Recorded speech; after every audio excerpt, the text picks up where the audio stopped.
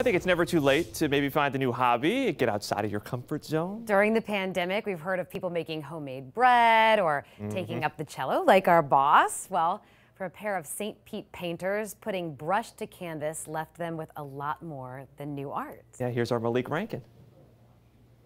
Down this hallway, just give it a try. You'll find Anita Choate's easel. And I really enjoyed it and didn't realize that I could have enjoyed it for many years before. The retired accountant and grandma took up painting later in life. And it gives me some uh, relief and some encouragement to know that, you know, I have a little talent. Ed Rinkowitz paints too. He lives at the same assisted living facility in St. Pete. He's a military veteran and granddad.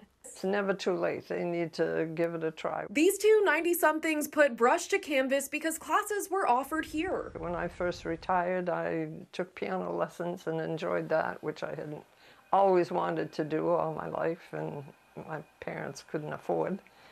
And uh, now it's the painting that I've got an interest in. They've gotten good. Both Anita and Ed were recently recognized by a national calendar for their artistic abilities. Their paintings were chosen from submissions across the country and are featured in the 2022 Expressions calendar. At any age or stage in life, both painters agree the best time to try something new is now. Very much. You can get lost into your paintings and time just flies. Uh, eventually, I purchased my own uh, equipment.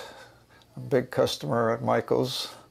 well, both Anita and Ed are working on their next pieces of art, ready to present them in their next art class. And Ed doesn't sell the art. Instead, they give it to friends and family so they have something to remember him. Oh, I love that.